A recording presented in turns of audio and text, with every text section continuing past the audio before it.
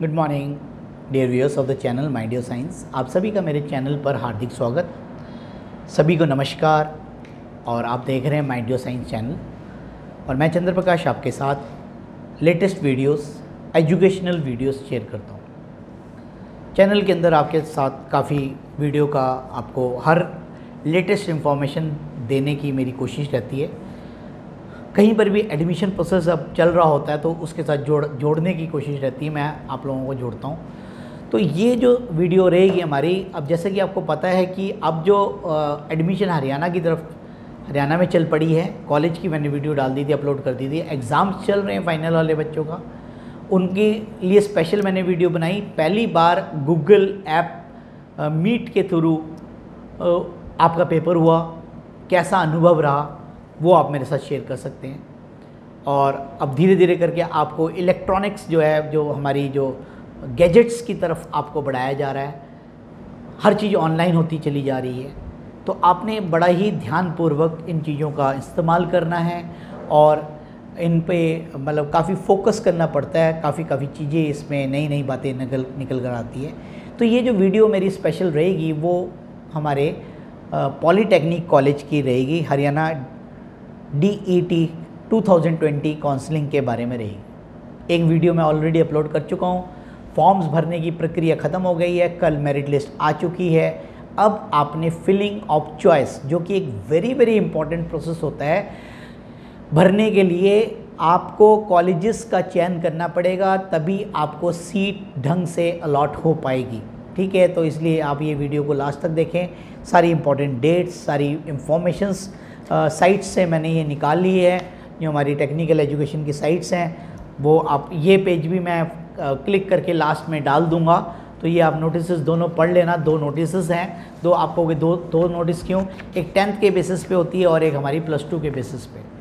जो बच्चे टेंथ के बाद ज्वाइन करना चाहते हैं, उनके लिए तीन साल का डिप्लोमा रहता है और जो हमारे प्लस टू करके बच्चे हमारे पॉलीटेक्निक में आते हैं, उनको दो साल का लगता है। लेटरल एंट्री कहते हैं। तो ये दोनों में फ़र्क होता है। तो दोनों के अलग अलग काउंसलिंग है, दोनों के अलग अलग तरीके हैं तो ध्यान से आपने देखनी है थोड़ा सा कंफ्यूज नहीं होना है। तो अब मैं आपको सीधा लिए चलता हूँ।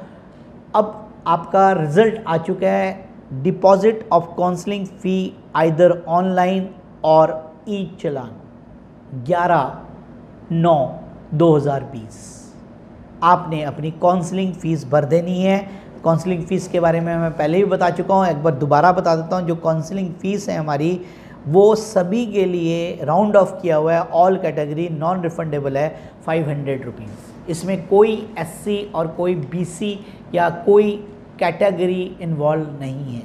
सभी की सामान्य पाँच सौ रुपये की काउंसलिंग फ़ी लगनी है, तभी आप लॉगिन करके अपने चॉइस फिल कर सकते हैं। अब first counselling filling of choice इस 14 सितंबर से लेके 16 सितंबर तक ये भरे जाने। अभी कैसे भरना है?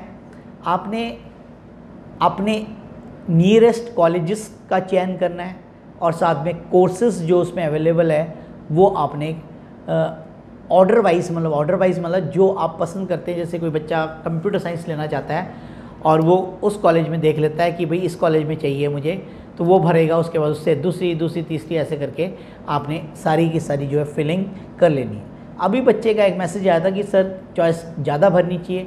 मैं तो यही कहूँगा कि ज़्यादा से ज़्यादा भरें। ज़्यादा से ज़्यादा भरने से प्रोबेबिलिटी जो रहेगी, आपको क्या रहेगी? फ़ायदा रहेगा और आपको फ़ायदा क्या होगा? कि आपको कहीं ना कहीं सीट मिल जाएगी। रिज़ल्ट ऑफ़ सीट अलॉटमेंट कब होगी? 18 सितंबर को होने वाली है। 18 सितंबर को फ़र्स्ट काउंसलिंग की लिस्ट आ जाएगी आपके पास। तो जिसके अंदर आपका अगर नाम आ गया, फिर आपको क्या करना है? Physical reporting at allotted institute 21 से लेकर 24 तक आपकी फ़िज़िकल रिपोर्टिंग होनी है और अपने डॉक्यूमेंट्स सारे लेके जाने हैं। मैं डॉक्यूमेंट्स के बारे में सारा कुछ बताऊँगा। तो अभी आपने पूरी वीडियो देखनी है। मैं ये वीडियो के अंदर सारी डिटेल्स आपके साथ शेयर करूँगा। रिज़ल्ट उसके बाद सेकेंड काउंसलिंग चलेगी। ऑनलाइन रजिस्ट्रेशन और फिलिंग ऑफ़ चॉइस अगेन 25 तारीख से लेके 26 तारीख। ठीक है 25 और 26 को चलेगी ये और result of seat allocation on उनतीस उनतीस को इसका रिज़ल्ट आ जाएगा और आपको फिर फ़िज़िकल रिपोर्टिंग करनी है तीस से लेके पाँच तारीख तक। ठीक है, पाँच अक्टूबर तक। अगला महीना चेंज हो जाएगा। Updation of vacancy position by respective institute उसी दिन लिस्ट आ जाएगी कि भाई अब हमारे पास किस किस कॉलेजेस में कितनी कितनी सीट सेकेंड काउंसलिंग के बाद बच गई है। अब आपने आ, क्या करना है? स्टेप्स बता रहा हूँ। स्टेप नंबर वन क्या है?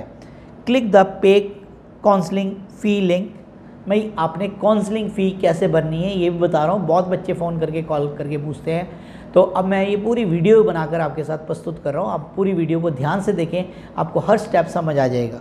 Click pay counselling fee link select the course select the course के अंदर आपने सिलेक्ट करना है कि आप कौन सा कोर्स कर रहे हैं कि प्लस टू मतलब टेंथ के बेसिस पे या प्लस टू के बेसिस पे और उसमें फिर फार्मेसी है और डिप्लोमास हैं तो वो कोर्सेज आपने चयन करनी है। फिर एप्लीकेशन नंबर एप्लीकेशन नंबर आपके पास पड़ा है, वो आपने लिखना है रोल नंबर लिखना है नेम और date of birth click on the submit button उसके बाद आपने क्लिक कर देना है सबमिट बटन पे।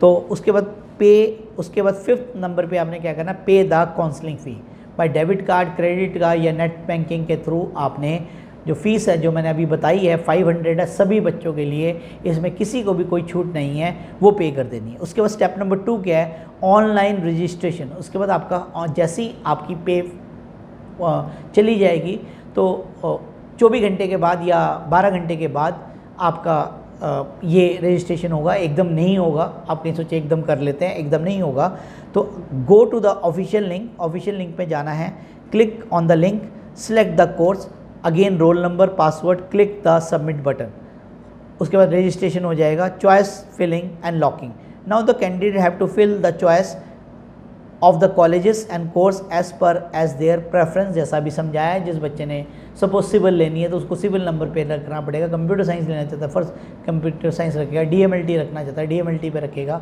फार्मेसी चाहता है तो फार्मेसी में रखेगा। Candidate should lock their field choice ये बहुत इंपॉर्टेंट है, जब वो फिल कर लेते हैं, उसके बाद लॉकिंग करनी बहुत आवश्यक है।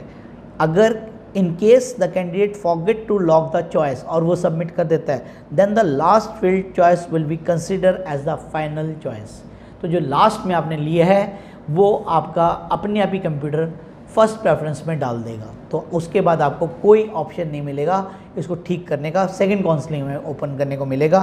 तो अब फ़र्स्ट काउंसलिंग में आपके लिए दिक्कत आ जाएगी. Candidate are advised to fill maximum eligible choices to increase the probability of getting the seat. मैं अभी अपनी वीडियो में यही बात कह रहा था, यही बच्चे ने मेरे से प्रश्न अभी किया था कमेंट में कि सर हमें ज़्यादा से ज़्यादा भरने चाहिए या एक या दो जो हमें चाहिए कोर्स वो भरने चाहिए? तो मैंने अभी उसको रिप्लाई किया था कि मैक्सिमम भरने चाहिए। प्रोबेबिलिटी से सारा ये खेल होता है चॉइस फिलिंग का तो आपने बहुत ही ध्यान रखना है। Take the print out of the field choice for further process आप जब चॉइस फिल करने के बाद लॉकिंग कर देंगे सबमिट कर देंगे तो उसका प्रिंट अवश्य रख लें। कई बार भूल जाते हैं कि मैंने क्या भरा था तो फिर वहाँ पर जाके कन्फ्यूज़न क्रिएट हो जाती है। Seat allocation allotment result it will be release via online mode on the website website पे ही आएगी। Candidate can check their result by entering their roll number and password seat allotted to the candidate on the basis of field choice, availability of the seat, rank etcetera rank के हिसाब से आपको seat मिलेगी। तो ये depend करता है कि आपको फ़र्स्ट काउंसिलिंग में मिलती है, नहीं मिलती। Candidate can download their seat allotment letter वहाँ से आपने सीट अलॉटमेंट लेटर क्या करना है? डाउनलोड कर लेना, उसके बाद उसका प्रिंट ले लेना। फिफ्थ स्टेप क्या है?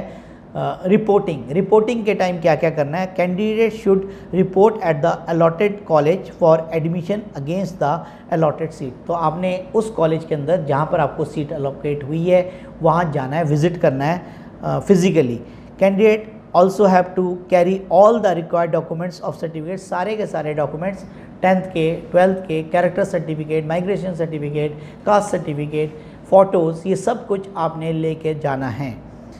Have to deposit the self attach documents सब जो डॉक्यूमेंट्स हैं, उनकी फ़ोटो कॉपीज आपने खुद साइन करके ही देने हैं at the time of reporting pay the admission fee to confirm the seat उसी टाइम आपको बताया जाएगा कि आपकी सीट कन्फर्म हो गई है, आपके डॉक्यूमेंट्स वेरीफाई हो गए हैं, आप जाकर फ़ीस पे कर दें। तो फ़ीस पे करने के बाद ही आपको सीट जो है पक्की हो जाएगी।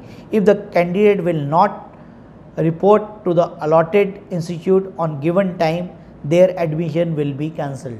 अगर आप उस जो अलॉटमेंट टाइम है, जैसा कि मैंने आपको बताया कि रिपोर्टिंग जो टाइम है, पहली जो काउंसलिंग है 21 से लेकर 24 तक आपने रिपोर्ट करनी है, इन दिनों में किसी में भी, अगर आप उसमें रिपोर्ट नहीं कर पाते हैं तो आपकी जो सीट अलॉटेड है, वो कैंसिल हो जाएगी। Candidate must get provisional admission slip from the allotted institute duly signed by the admission coordinator ये भी बहुत इंपॉर्टेंट है, कहीं बच्चे क्या करते हैं फ़ीस वगैरह पे करके घर चले जाते हैं। तो उनसे अपनी प्रोविजनल जो सीट एलोकेशन है, उनसे कोऑर्डिनेटर जो बैठा हुआ है, उससे सिग्नेचर करके उससे लिखित में लें कि आपको भाई सीट मिल गई है। तभी आपका प्रोसेस जो है पूरा हुआ। और उसके बाद फिर सेकंड काउंसलिंग में भी सेम प्रोसीजर है तो उसको तो अब आप रिपीट करने की ज़रूरत नहीं है। तो आपकी, मैं बहुत छोटी सी एक वीडियो ये आपके साथ प्रस्तुत किया मैंने। तो आपको समझ आ गया होगा कि how to fill the choice क्या क्या करना है पे फ़ी कैसे करनी है।